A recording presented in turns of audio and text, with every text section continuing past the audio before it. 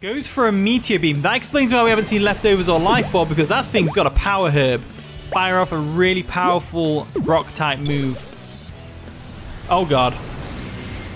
Bye, Musharna. Wow, we took that like a champ. Let's go for a Psychic, Screw it. We don't really need Musharna for anything, really, so they can go for the Surf, the plus one in special attack. They're probably going to KO us with this. Barely live on 4 HP, and we can go for a Psychic, which won't KO the Starmie by any means, but um, never mind, it does.